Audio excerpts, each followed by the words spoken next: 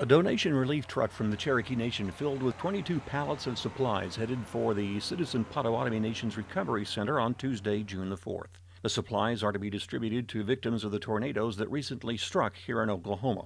The donations collected by Cherokee Nation were, were sent out to help all tribal citizens in the affected area.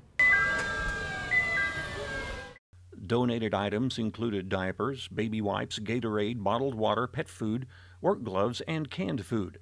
Volunteers from NSU spent two weeks collecting donations from people in the area wanting to help. This has been a, um, a community-wide effort amongst multiple offices on campus, and uh, we've had a huge outpouring of support, a lot of phone calls, a lot of emails, people just wanting to help in whatever way possible.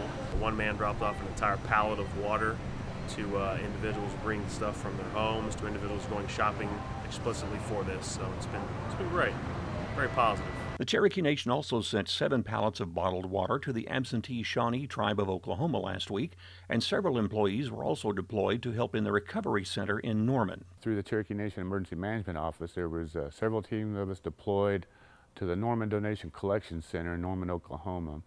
And donations were received there from all over the states, Texas, Nebraska, Kansas, Missouri, Louisiana, but just several, several semi-loads daily were received and collected at the main warehouse there in Norman, and then we turned around and distributed them to the local disaster relief sites. The Cherokee Nation Emergency Management Team worked with Northeastern State University, Lakes Country 102.1 Radio, Cherokee Casino in Tahlequah, and other local agencies to collect donations for the tornado victims in Moore and Shawnee.